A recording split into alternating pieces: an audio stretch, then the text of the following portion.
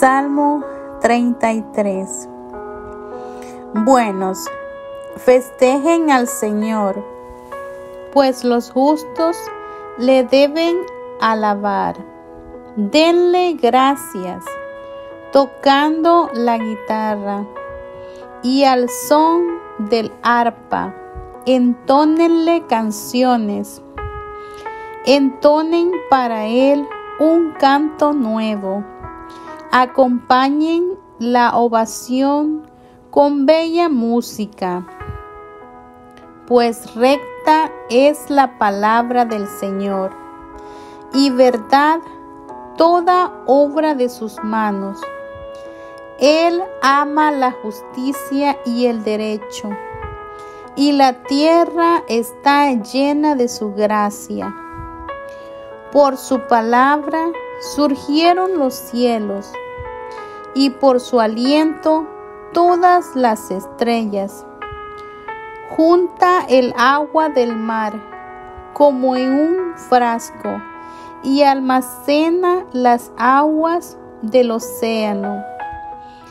Tema al Señor la tierra entera y tiemblen ante Él sus habitantes, pues Él habló y todo fue creado. Lo ordenó y las cosas existieron. Malogra los proyectos de los pueblos y deshace los planes de las naciones. Pero el proyecto del Señor subsiste siempre. Sus planes prosiguen a lo largo de los siglos. Es feliz la nación cuyo Dios es el Señor, el pueblo que Él escoge como herencia. Mira el Señor de lo alto de los cielos y contempla a los hijos de los hombres del lugar en que vive está observando a todos los que habitan en la tierra. Él que solo formó sus corazones, Él que escudriña todas sus acciones.